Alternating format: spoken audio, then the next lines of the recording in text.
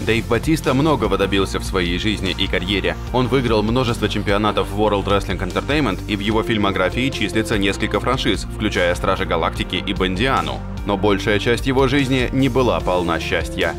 Тот факт, что Дэйв Батиста наблюдал за насилием прямо с входной двери своего дома, не метафора. Он вырос в Вашингтоне в разгар волны преступности 80-х годов. Весь его район был опасным местом, и реальные угрозы часто оказывались так близко, что Батисте даже не нужно было выходить из дома. В окно своей комнаты юный Дэйв видел, как толпа людей избила человека и чуть не сбросила его с эстакады. Он также видел, как напали на его мать. Последней каплей стало то, что его мама нашла застреленного мужчину возле их дома. Она вызвала полицейских и, ожидая их прибытия, заметила, что ее дети играют на улице, совершенно не обеспокоенные только что произошедшим преступлением. Она поняла, что если дети могут смотреть на умершего человека и не испытывать при этом никаких эмоций, то пора переезжать. Вскоре после этого семья сменила место жительства на Сан-Франциско.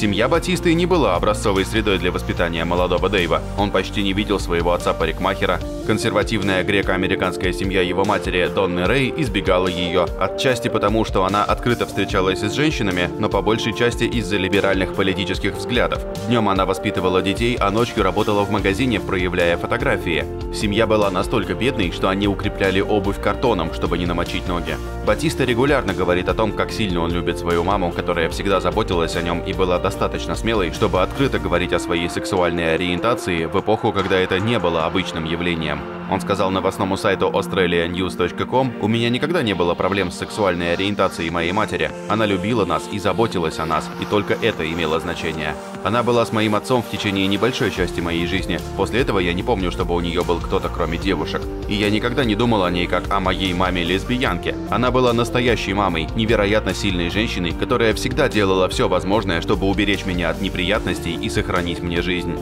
В интервью Sport Bible Батиста перечислил то, о чем он сожалеет в своей жизни. За эти годы выделился один момент – он так и не получил формального образования.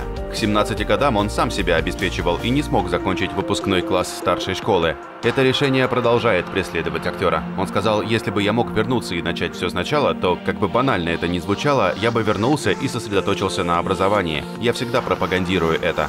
Я говорю это своим детям и верю в это, потому что образование – это то, что вы можете взять с собой независимо от того, на каком этапе своей жизни находитесь или где оказались в этом мире. Как и многие люди в возрасте от 20 до 30 лет, Батиста однажды оказался на распутье.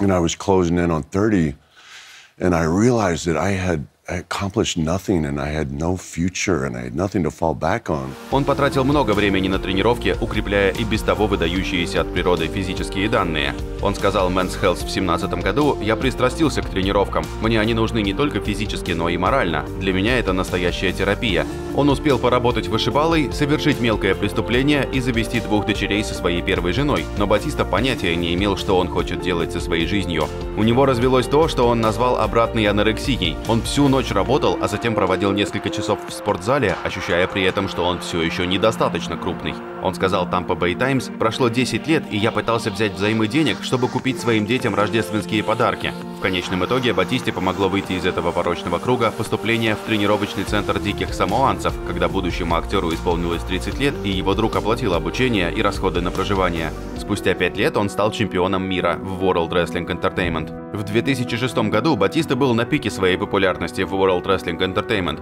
Он был одной из главных звезд компании, годом ранее участвовал в главном событии WrestleMania, и его изображение всегда было на постерах. Но помимо этого, он, по общему мнению, был тем еще засранцем. Это привело к драке с ветераном рестлинга Букером Ти на фотосессии для SummerSlam 2006 года. Сама организация World Wrestling Entertainment сообщила новости о поединке, что обычно предполагало, что это постановочный бой, но достаточное количество людей подтвердило, что это была настоящая драка. Нет единого мнения о том, кто выиграл бой, но большинство согласны с тем, что Букер начал его после того, как подумал, что Батиста не уважает его. Букер сказал Wrestling Incorporated, Батисту хорошо побили, но он настоящий мужик. В автобиографии Батисты «Освобожденный Батиста» он признал свою вину. Букер заслужил уважение в этом бизнесе. Я не показал этого и был неправ.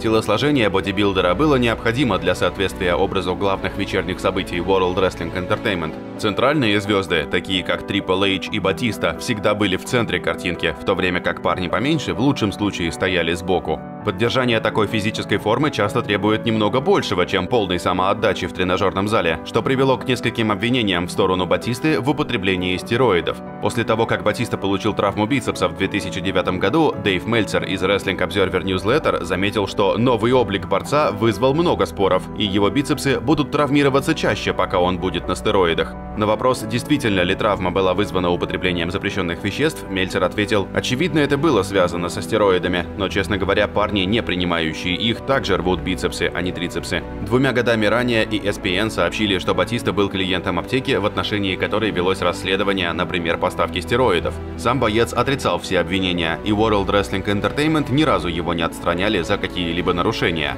Таким образом, пускай нет точных доказательств того, что Батиста когда-либо использовал стероиды, он долгое время работал в индустрии, известной своим лояльным отношением к ним, и не смог развеять слухи о том, что он их использовал. Фирменный образ Батисты включает в себя темные солнцезащитные очки. Пока он был рестлером, он носил их даже ночью на любой арене и во время всех промо-акций. Они были больше, чем просто модным аксессуаром. Они были защитой для человека, который боялся публичных выступлений.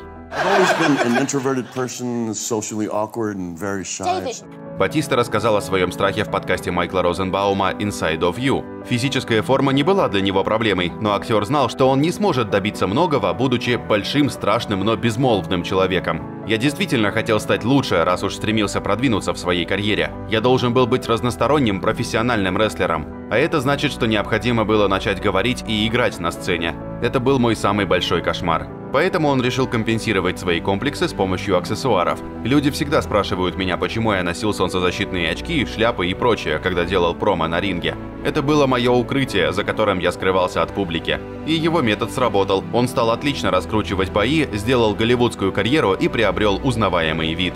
Батиста покинул World Wrestling Entertainment в 2010 году после поражения в матче с Джоном Синой «Я ухожу» на Over the Limit. И его уход оставил больше вопросов, чем ответов. Во время интервью на MLW Radio Writers Room Батиста заявил, что World Wrestling Entertainment отказывала ему в возможности сниматься в кино. Это и стало тем, что его оттолкнуло. У World Wrestling Entertainment есть собственное кинематографическое подразделение World Wrestling Entertainment Studios, которое в основном выпускает боевики, уходящие сразу на DVD, порой фильмы ужасов и низкопробные комедии. Это также способ для борцов отвлечься от ринга, отточить новые навыки и получить прибыль. Батиста разочаровался в организации после того, как Сина продолжал получать роли в фильмах и коммерческие предложения, в то время как он сам оставался в стороне, несмотря на то, что в то время они оба были, по сути, лицами компании. Батиста спросил World Wrestling Entertainment, может ли он пройти прослушивание для сторонних проектов. Он утверждает, что руководство ответило, что он фактически их собственность и должен с радостью приступить к работе на ринге. Участники World Wrestling Entertainment технически независимые наемные работники, но условия их контрактов часто настолько всеобъемлющие, что это почти работа на полную занятость.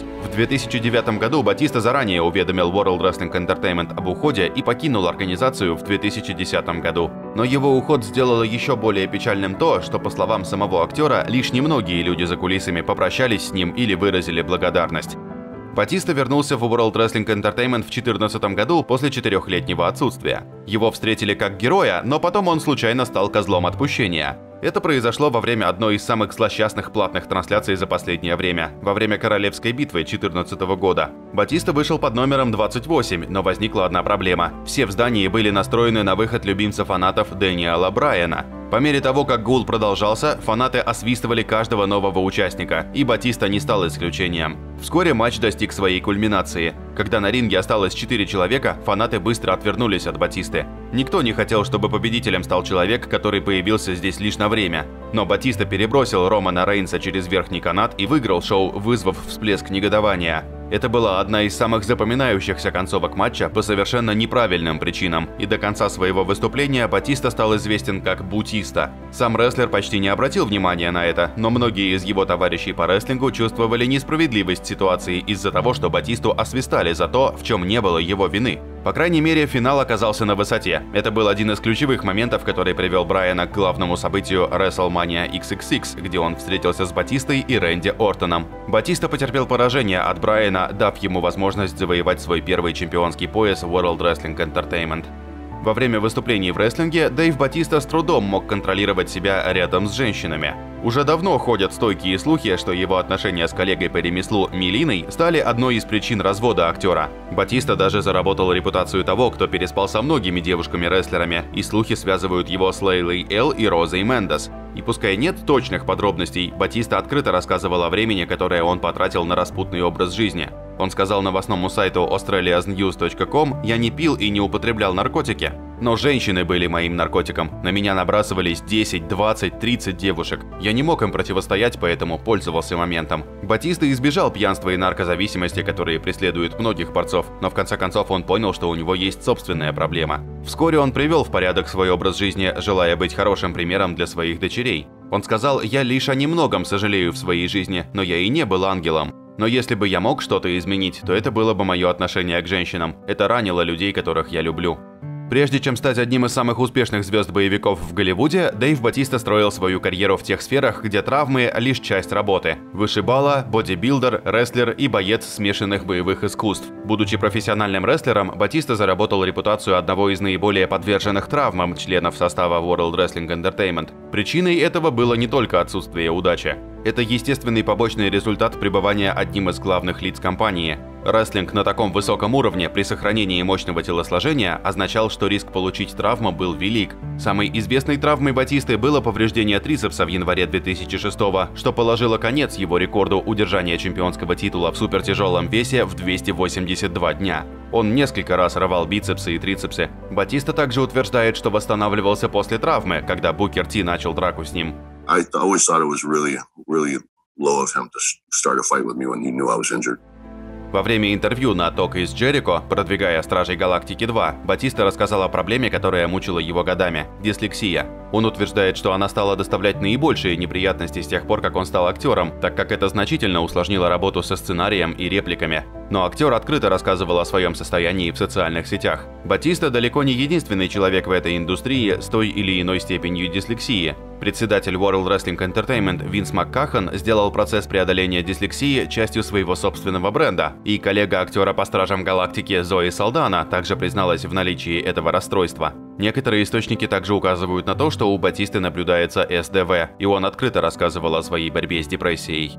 Посмотрите новые видео на нашем канале. К тому же скоро выйдут и другие ролики про ваших любимых актеров. Так что подписывайтесь и нажимайте на колокольчик, чтобы не пропустить ни единого видео.